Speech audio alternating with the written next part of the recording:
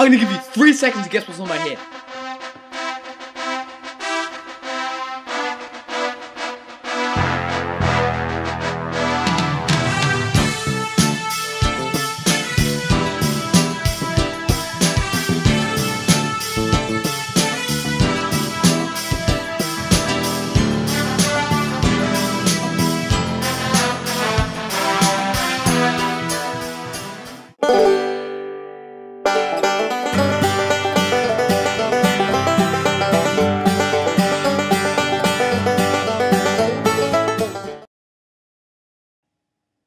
In September 2010, I was attacked by a retarded child.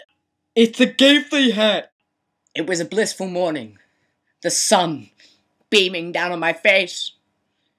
And I was yet to know that things would happen which I would not want to happen. So, I got up that morning and I was excited for the roller coasters to that, that day.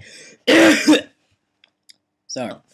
Right, I was walking back and, um, out of nowhere, a retarded child, no mean to be mean, no, no mean, not meaning to be mean, but this guy was a bloody scary ass bastard, and he comes at me, and he goes right into my eyes. I have no idea, I doesn't haven't thought I've done anything wrong, and he's got the exact same hat on me. He's got this goofy hat, and I've got the goofy hat on as well. Yet I'm not retarded, so we had this somewhat stare battle, and I'm staring at him for 10 seconds straight. My heart's pumping, I don't know what's happening, but he's staring into my heart. And I'm scared. And it was the weirdest feeling of my life that I sort of felt guilty, but I really didn't know why. And so he was just staring into me, and I was wearing the same hat. And I think he was angry because I was wearing the same hat, but I'm really not sure.